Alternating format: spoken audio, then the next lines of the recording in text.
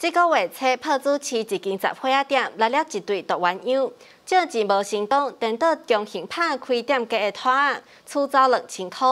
嘉义县警察局立即成立专案，展开以车约人逮捕涉嫌人。伫四点钟内，伫鹿草乡追捕到案，快速破案。县长张良伫东港了解到炮竹警察快速破案，日前伫警察局长廖训成的陪同之下，亲自到炮竹分局慰问当日的辛劳。县长王章良指出，虽然这个抢案经验无济，但是站在警方的立场，无在于钱的外值，二是不容忍任何犯罪行为，因此将伊看是一件大案，展现该关警察办案的决心。四点钟内迅速来侦破。县长表示，治安爱好，重要在迅速破案。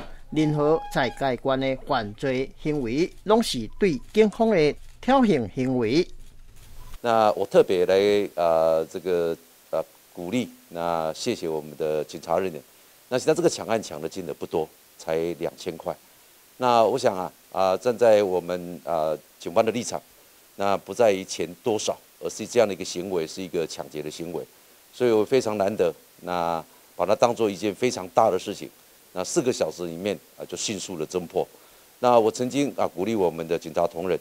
任何在嘉义县的犯罪行为，就是对警方的挑衅的行为，所以我想我们所有的警察同仁都很清楚，啊，任何的挑衅，啊，第一时间用速度，啊，能够迅速的破案，所以在这边非常谢谢我们的廖旭成廖局长，那个领导所有的警察同仁，大家啊记得这样的一个啊所有的犯罪行为都比较用最快的速度能够侦破，所以今天特别在这边感谢我们警察同仁的辛苦，也谢谢他们。啊，又打得漂亮的一仗，又迅速的侦破了一个啊强案。县长张良分享，家己经常使用一句话来勉励警察同仁，非常感谢在局长廖奋成的领导下，所有同仁面对任何犯罪行为，该以最快的速度侦破。因此，今仔日特别前来感谢警察同仁，也恭喜因，因果拍了真水的一战。谢谢新闻蔡明东，该观采访报道。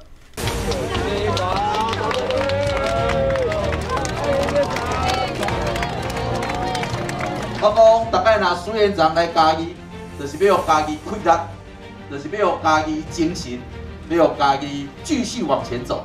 去年的十二月十九号宣布要促成嘉义有科学园区，那今天来宣布整个科学园区所挑定的地点跟未来的发展。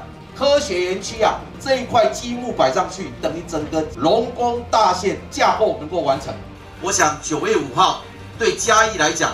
会是一个未来永远必须要记得的日子，在十五年后、三十年后，大家就知道今天有多重要。因为今天的宣布代表嘉义往龙宫大线方向走。今日条件已经有啊，咱过去都嘉义实战，故宫南面嘛，规个已经发展起来。我真知影，安尼一大发展的速度对无着边的消耗。大东东的交代，要让家己更加好，咱家己爱护发展起来。所以今日咱伫遮宣布，嘉义科学园区落脚在太保。